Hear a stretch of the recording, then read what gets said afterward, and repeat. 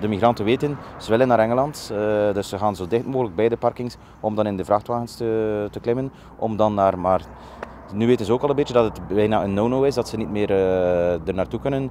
Dus uh, Tentenkamp is in Calais is verwijderd geweest. Dus er was een beetje schrik dat er overal ging migrerende groepen zijn, wat dat niet echt het geval is.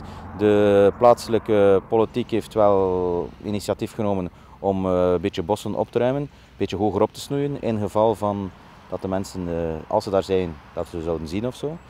Ik was hier aan het werken en ik zie dat er een vrachtwagen de deurtjes open en ik zie dat er daar veel migranten toe komen.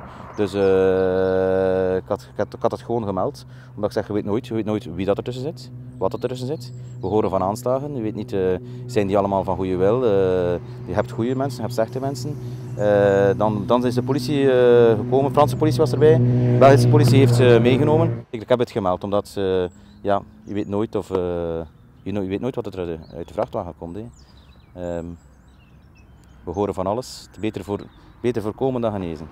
Ik heb daar weinig contact mee, maar als je ziet, ja, ze komen toch vanuit een, uh, een oorlogsstreek. We hebben niet dezelfde cultuur, we hebben niet dezelfde civilisatie.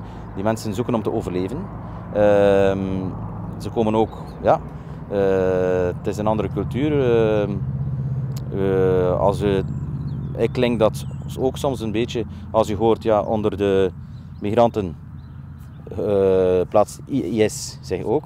Dus ja, die zeggen, ja, misschien, stel je voor als er tussen die 25 twee terroristen tussen zitten en die kunnen uh, voorzien worden, dan is dat voor mij wel een uh, goed ding.